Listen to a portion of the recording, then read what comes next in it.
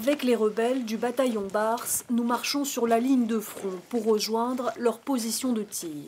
Les lignes ukrainiennes sont à 200 mètres et sur le chemin, nous sommes à vue, mais aujourd'hui, tout le monde a pour ordre de ne pas tirer.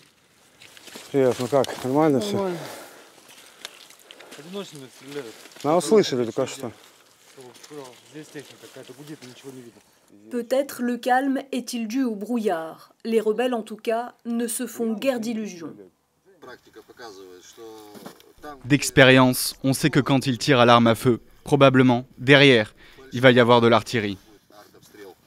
Ici, sur la ligne de front, le calme semble précaire.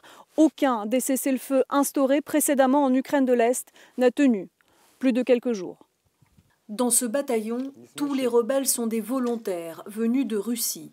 Leur base, c'est cette mine de charbon désaffectée aux abords de Donetsk, une base qu'ils occupent depuis trois mois, et c'est l'une de celles qui leur permet de tenir la ville. Ici, selon les accords de Minsk, ce sont les Ukrainiens qui doivent reculer pour créer une zone tampon. Ces combattants estiment que de leur côté, les objectifs sont atteints. Nous espérons que le cessez-le-feu va tenir. Tout le monde en a marre de cette guerre.